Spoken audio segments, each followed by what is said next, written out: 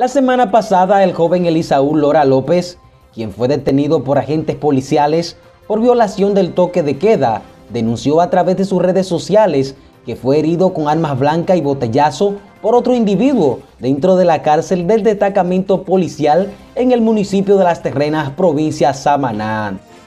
Me agredieron, primero me dieron un botellazo aquí, después me dieron una puñalada por aquí, con el mismo caco de la botella ahí. Aquí en este pie también, mire, te puede ver. Sin embargo, el teniente coronel Juan Francisco Cruz Tapia, comandante de dicho departamento, desmiente que en la celda se encontrara armas blancas ni botellas, que el joven Elisaúl habría incurrido en desorden al juntarse con los demás detenidos.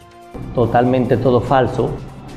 Primera vez que sucede y es algo que cuando usted causa una provocación tiene que tener una reacción. Descaradamente viola el toque de queda porque fue sorprendido consumiendo alcohol en la calle que conduce a Caño Seco, próximo al puentecito.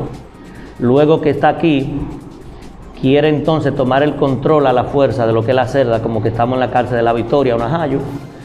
Los detenidos incluso tratan de mediar la situación, le dicen que se esté tranquilo, él insiste, luego golpea a uno de ellos, aún permanecen que se esté tranquilo, entonces quiere remeter en contra del reconocido Pichacoco y es ahí donde se significa la riña con la cual salió con, con las heridas que presenta.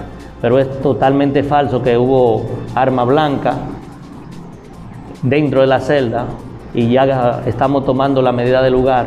En un reporte exclusivo desde las terrenas para NTN, Pedro Javier.